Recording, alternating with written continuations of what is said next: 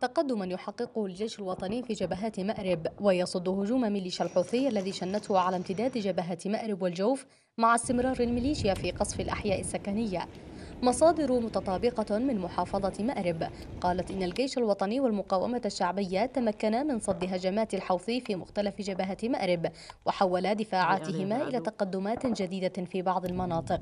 وحققوا تقدما في أربعة محاور رئيسية غرب المحافظة من بينها جبهة صرواح المهمة. هجوم حوثي متجدد بجاهزية عالية وبخطط عسكرية وعمليات نوعية.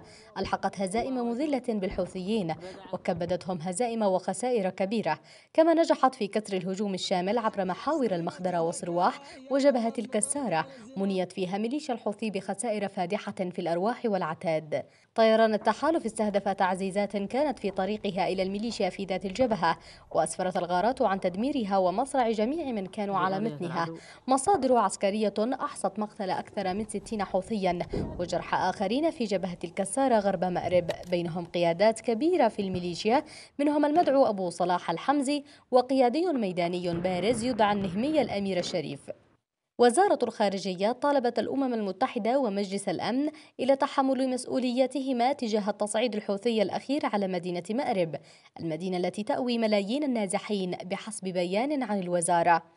الوزارة قالت إن هذه الاعتداءات المتكررة للميليشيا الحوثية تأتي ضمن انتهاكاتها المستمرة لوقف إطلاق النار في الحديدة بحسب ستوكهولم وسعيا منها للتصعيد الشامل في مختلف مناطق المواجهات وإعاقة الجهود الدولية لوقف إطلاق النار وإحلال السلام في اليمن. وجددت وزارة الخارجية دعوتها للأمم المتحدة لإعادة النظر في وضع بعثتها في الحديدة التي أصبحت بحكم الرهينة لدى الميليشيا الحوثية التي عطلت تنفيذ القرار 2452 داعية المجتمع الدولي ومجلس الأمن إلى تحمل مسؤولياته بتنفيذ قراراته ومعاقبة الميليشيا الحوثية.